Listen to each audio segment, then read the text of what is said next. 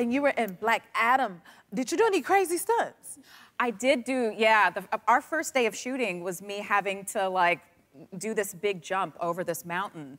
And it- you know, it's like they the stunt doubles, they take months like practicing these things. And then the actors, we come in and they're like, oh, we'll just put you up on these wires 300 feet up in the air for about 10 minutes before we have to roll. Mm. But don't worry, because your stunt double's gonna do it anyway.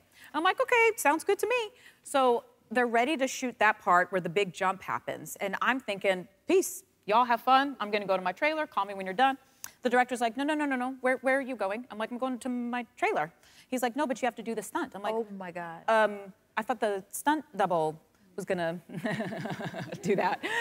And he was like, no, but we need we need the close-up of your face as you're jumping. And I'm like, oh.